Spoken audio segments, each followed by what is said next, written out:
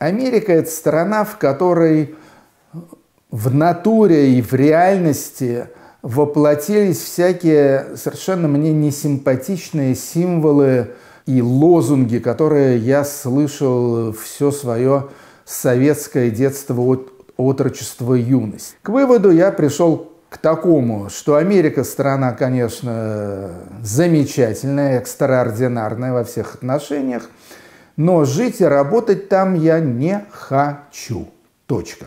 Написал он текст про Америку. Я хотел бы в свою очередь отрецензировать э, этот самый текст Павла Дурова.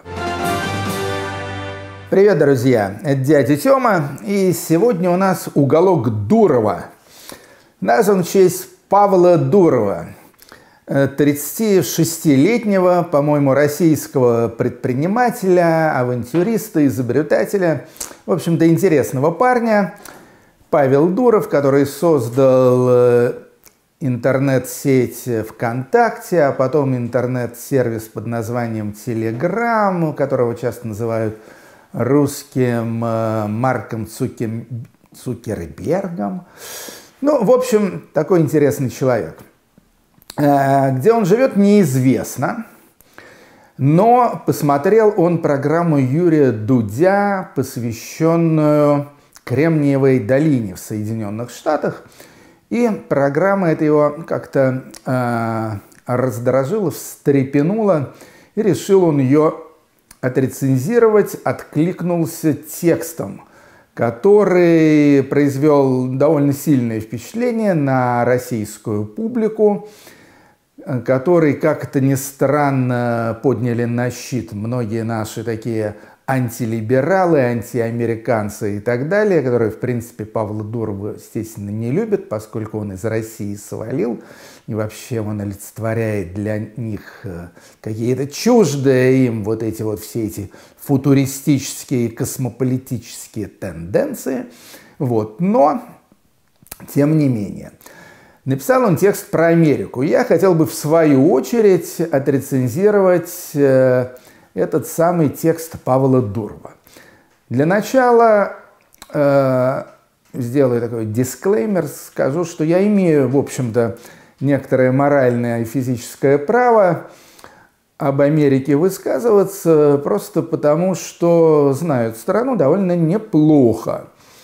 Я впервые оказался в Америке в 1988 году, уже тогда проехал Штаты от Атлантического до Тихоокеанского побережья, э, узнал довольно много там всего интересного, убедился в том, что United States of America – страна в высшей степени интересная, в высшей степени разнообразная. Говорить про какую-то одну Америку – это вообще как бы это не очень правильно.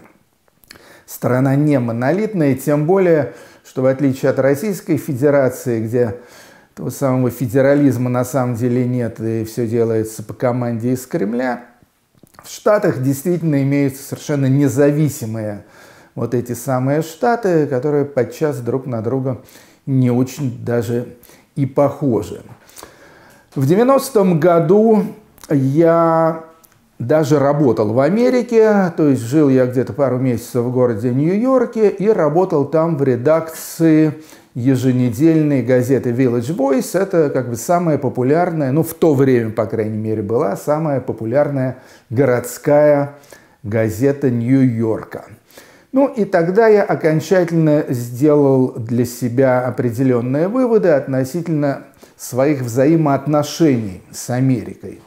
К выводу я пришел к такому, что Америка страна, конечно, замечательная, экстраординарная во всех отношениях, но жить и работать там я не хочу. Точка.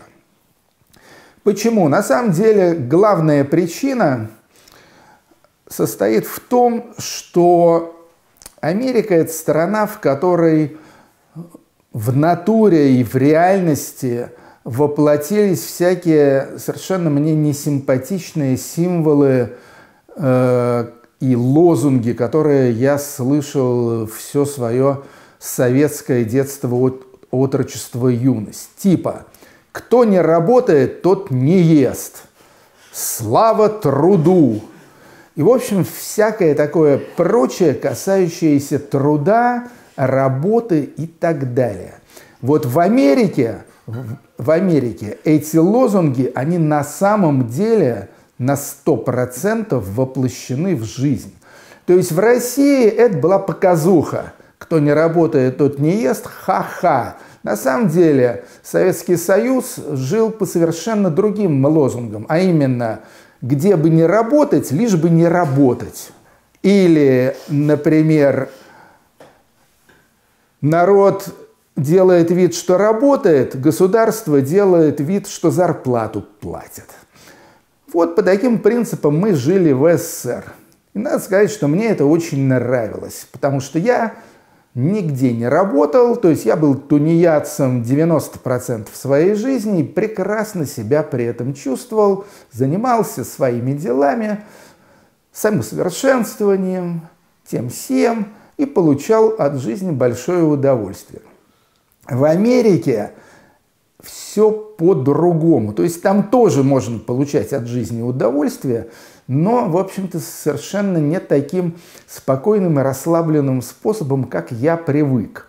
То есть я для себя э, такую примерно создал метафору, что жить и работать в Америке – это как ехать на велосипеде в горку.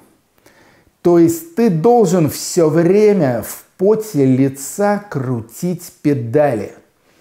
Вкалывать, вкалывать, вкалывать, вкалывать выше, выше, выше, выше. Если ты вдруг расслабился, перестал крутить педали, то все, ты съехал вниз, ты упал в кювет, ты стал, ну, то, что по-английски называется drop-out, да, то есть выпадшим из, э, из системы. Более того, когда я работал в этом самом Village Voice, я обратил внимание на то, что даже если вам делать абсолютно нечего, никакой работы нет, то вы должны имитировать эту самую трудовую деятельность. То есть мы там сидели в таком большом ньюзруме с такими перегородочками, мобильных телефонов тогда уже не было, у каждого стоял там обычный телефон, компьютер громоздкий и так далее – и я сначала был совершенно поражен тем вообще, как все интенсивно работают. То есть просто как какие-то пчелы в улье бегают по этому ньюзруму, каждую минуту телефонный звонок, там что-то орут, кричат там и так далее. Спустя некоторое время я убедился, причем на 100% убедился в том, что 90% вот этого трудового порыва это имитация, это имитация работы. Потому что в Америке нет ничего хуже, чем выглядеть бездельником, прослыть бездельником. То есть так, тогда ты становишься человеком невостребованным, а это крайне, крайне нехорошо. И, как я уже сказал, мне это совершенно не понравилось. Я так думаю, что, кстати говоря, это не чисто американский феномен, судя по тому, что я читал о э, рабочем модусе, скажем, в Японии, в Китае, в Корее. Там то же самое, только еще хуже. В Японии так вообще там имеется термин такой «кароши» или «кароси». Это люди, которые умирают от перенапряжения на работе – но я себе этого вообще не могу представить. Как так можно? Мне нравится делать то, что мне нравится. В этом смысле европейский модус операнди, европейский как бы тип взаимоотношений человека, работы, карьеры и так далее, мне намного ближе. Вот там вот можно как бы, ну там ты в гораздо большей степени сам себе принадлежишь.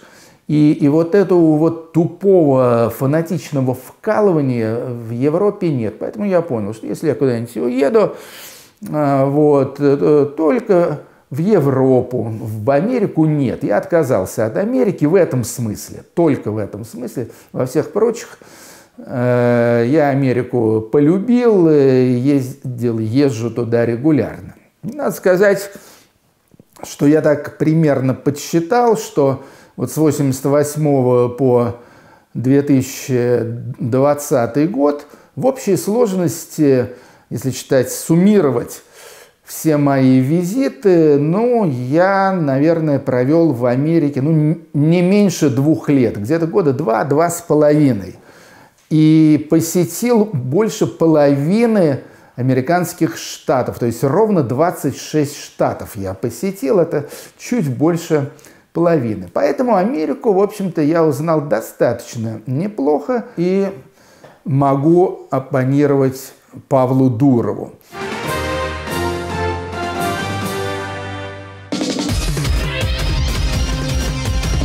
Вы смотрите Ару ТВ.